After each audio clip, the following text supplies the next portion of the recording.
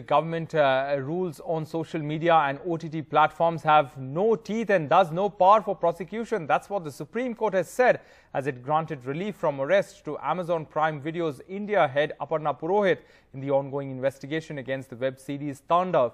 While hearing the anticipatory bail plea of Amazon Prime India executive Aparna Purohit, the top court today expressed concern over the lack of punitive provisions in the new rules regulating social, digital and OTT platforms.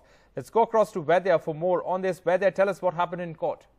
See, the Supreme Court was hearing uh, anticipatory bail plea by Aparna Purohit, the India the Amazon Prime Video India commercial head.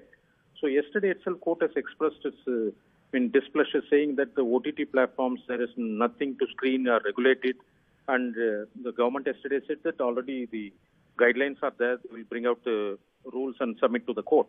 So yesterday it was submitted. Today, when the hearing was uh, the case was taken up, Supreme Court judges said that they have gone through the guidelines. There is no teeth in it. There is no penal provisions. Nothing to prosecute somebody violates.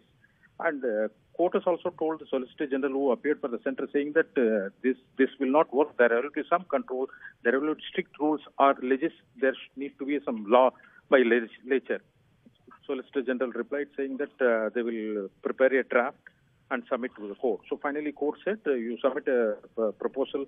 The present guidelines are nothing, just a mere guidelines. We want some sort of strong law which have more power for penal provisions. So finally, Centre said it will submit the proposal. So we'll have to wait what the centre says. All right, Vaidya, thanks very much for joining us with those details.